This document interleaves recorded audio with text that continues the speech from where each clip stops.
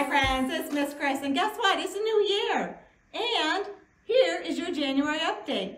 New year, new beginnings. We got a lot going on, and the best thing about January is we can start off with service. Our Martin Luther King Day of Service is coming up in just one week. So get in those closets and clean out and, and look through those toys and see if you've got some that you don't use anymore. And maybe you have some old shoes that you don't use but are gently used. Maybe some books you don't read, games you don't play.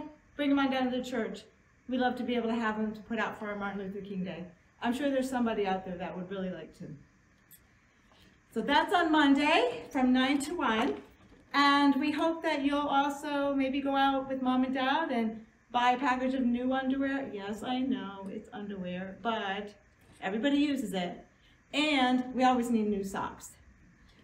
So Martin Luther King asked the question, what are you doing for others?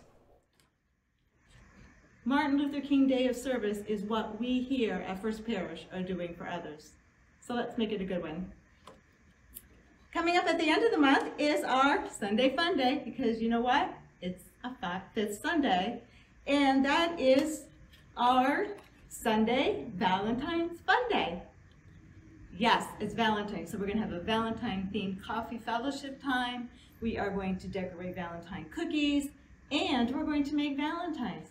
Now, why do you think we're going to make Valentines? Well, there's some people in our church that aren't able to come to worship like you and I can. So wouldn't it be nice to be able to send them a Valentine, just tell them that we're thinking about them and we really miss them? I know it would be. And I know that if I were home, I would love to hear from you too.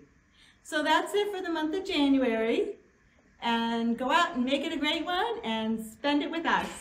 Bye, friends.